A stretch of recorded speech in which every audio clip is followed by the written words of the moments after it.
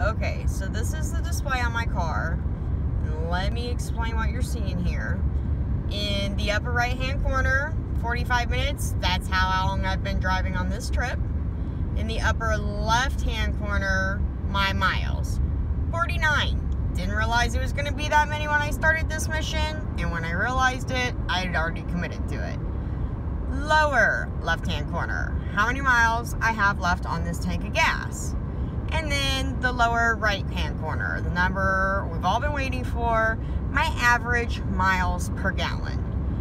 Um, and granted, it's 50 miles on this trip, but as you can see by that, this car is capable of every bit of 38 miles to the gallon on the highway if it's driven right. Now, I don't know if you can tell, but up in the speedometer, if you can see the blue peg there, see how it reflects on the backsplash? So you don't have to worry about where you're at speed wise just by that if you're not using your cruise control. If you are using your cruise control, very intelligent. Let me show you. I love the cruise control. Okay, so my cruise control's off. Da, da, da, da, I'm gonna slow down. I'm probably gonna make somebody behind me mad, but that's okay.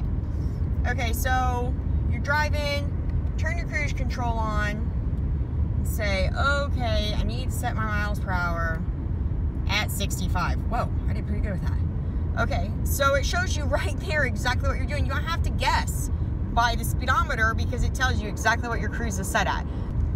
When you come to a construction zone and your speed changes, you just hit the minus button, the decrease, set it down to what you want. I'm not really in a construction zone, so I don't want to make too many people upset. Set it down to what you want.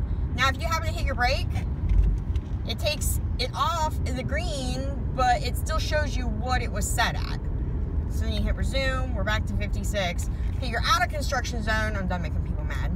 Just hit your button back up to where you want it to go, and you're right back up to speed. You don't have to worry about the gas and the brake.